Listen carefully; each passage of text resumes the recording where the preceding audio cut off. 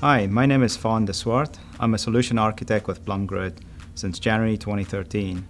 I work with our customers to take our product into their production environments. Today we're going to look at virtual network functions. In this session, we're first going to take a look at the concept of virtual network functions, and then we're going to move on to a use case on the whiteboard. Before I start, I'm assuming that you've already watched the introductory video on the PLUMgrid platform from Valentina. So what are virtual networking functions? And why do customers need them? Virtual networking functions are distributed software components that customers can use to create topologies. We provide bridge, router, DHCP, and security policies that can be used to represent your web, DB, and application tiers. Another important characteristic of virtual network functions is that they provide high availability, as well as in-service system upgrades, meaning upgrading the software and the functionality of these virtual network functions do not require an outage to your already running applications and your topologies. Another very important aspect of virtual network functions is the high availability. The PLUMgrid platform provides at all times availability of the functions in a distributed way. If a function would experience a failure, the platform will restart it so it can resume normal operations without impacting applications that depend and rely on these functions for their network transport. In summary, PLUMgrid virtual network functions provide advanced, multi-tenant and scalable networking solutions to customers in cloud infrastructure without having to purchase new network equipment nor have to reconfigure the existing network equipment. Now, let's move over to the whiteboard where I'll show you how the virtual network function works.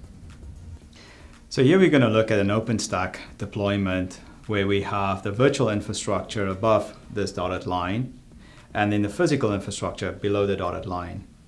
We're also looking at two tenants, virtual domain 1 and virtual domain 2, implemented with physical infrastructure below the line. The, what we're going to demonstrate in this first one is looking at virtual domain 1. We have virtual machine 1, virtual machine 2, connected through a bridge with external connectivity. Now let's take a look below the line. As you will notice, virtual machine 1 is located on physical host on the left, and virtual machine 2 is located on a different physical host. You'll also notice that the red virtual domain with its topology is completely rendered in this physical host and also on this second physical host completely rendered. This is important when we're going to illustrate the distributed virtual network function. Again, we have virtual machine 1 and 2 on the same bridge, where virtual machine 1 would like to communicate to virtual machine 2. How is that done in a virtual network function? Virtual machine 1 will communicate to the bridge and say, I'm looking for virtual machine 2. The bridge would then do a lookup function to determine where virtual machine 2 is it determines that it's over on this physical host over there. So the bridge would then build a VXLAN tunnel from itself through the physical network infrastructure over to this bridge over there, which will then forward the traffic to virtual machine 2. The return traffic will follow the same path if necessary, for instance, responding to a ping. This, this, this, distributed network function will continue communications between the two bridges as these two VMs communicate.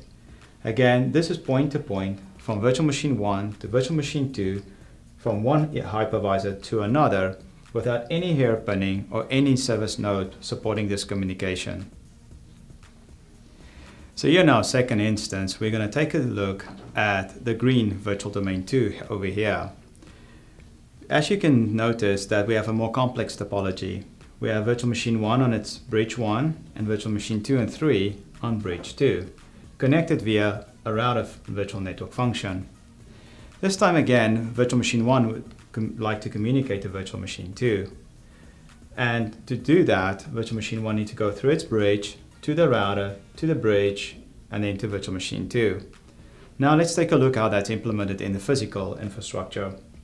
Again, as you will notice, virtual machine 1 is on the left-hand hypervisor, and virtual machine 2 is on this right-hand hypervisor. As before, you will notice that the topology is fully rendered on each one of the hypervisors. And we see this with Virtual Machine 1 connected to its bridge, router, bridge with external connectivity. And the same goes for Virtual Machine 2 on its bridge, router, and external connectivity. To establish the connection, again, Virtual Machine 1 would connect to its bridge and traverse the topology, saying I would like to connect to Virtual Machine 2. Virtual Machine 1's bridge would communicate to the router. The router would know that that network is located on this bridge. And then this bridge would do a lookup function and determine that the bridge instance it needs to connect to is located over where Virtual Machine 2 is running. So this time the second bridge is now going to build a VXLAN tunnel through the physical network infrastructure all the way over to that second bridge and then send the traffic on to Virtual Machine 2.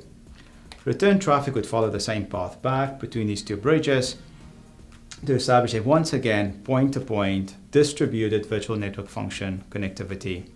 As you can see, we have two very different topologies rendered at the same time on two different hypervisors, providing connectivity to different virtual machines at the same time in a distributed way at scale to not influence any contention or any hairpinning in this architecture. Thank you for joining us today for this tech talk on the virtual network functions of PLUMgrid.